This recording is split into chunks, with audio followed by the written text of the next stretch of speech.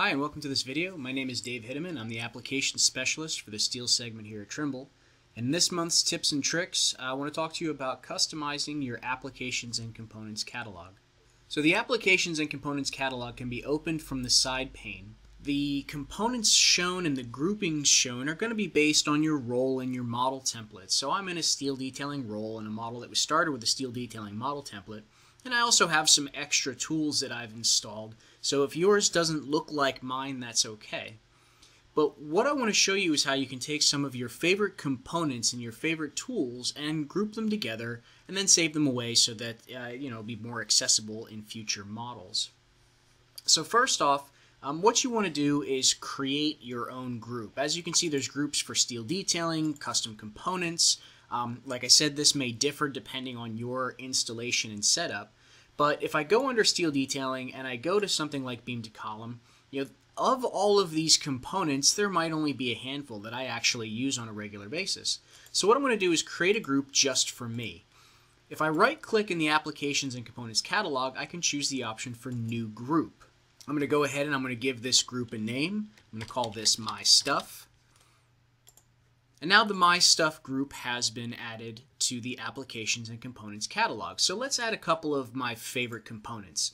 Uh, for example, I'm going to go ahead and add uh, 141.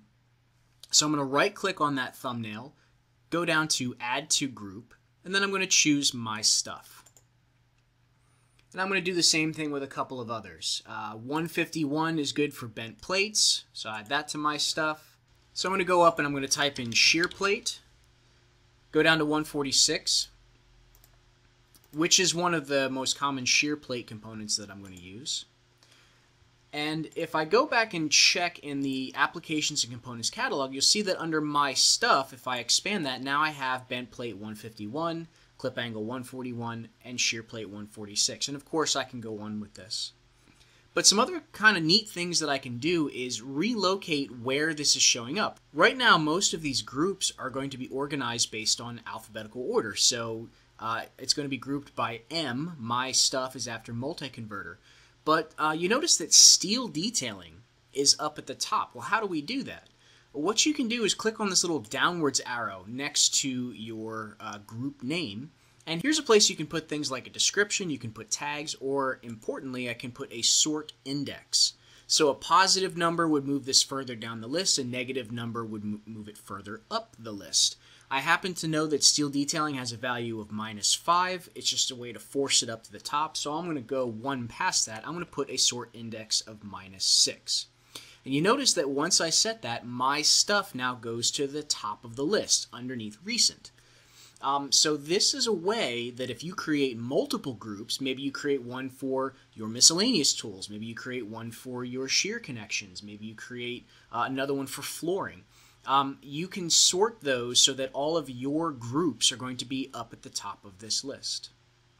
So let me show you something else that you can do with the applications and components catalog. There's things in there that are default to Tekla uh, things like your components, things like your macros will be in here. Any uh, extensions you add will be in here. But it's also possible to add external applications to this.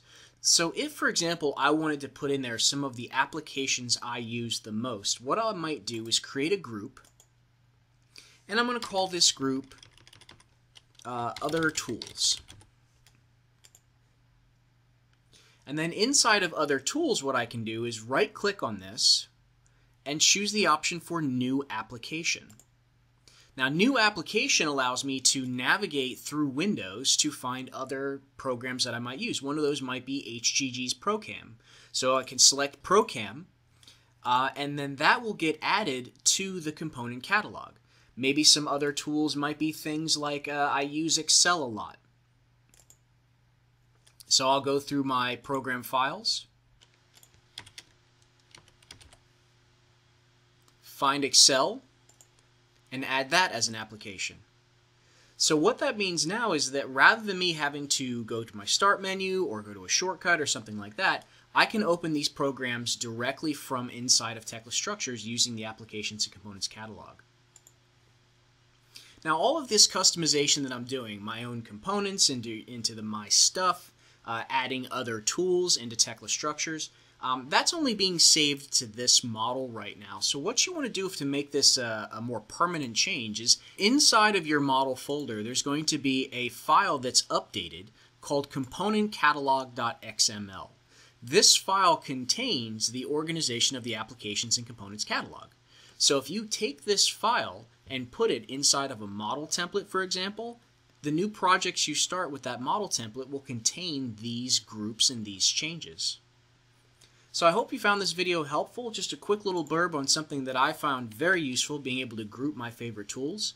If you have more questions about this, you get stuck on anything, as always, you can reach out to your local help desk. And thank you for watching.